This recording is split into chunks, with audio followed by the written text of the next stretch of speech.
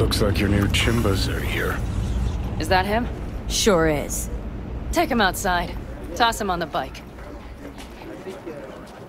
Stay right there. The cavalry has arrived.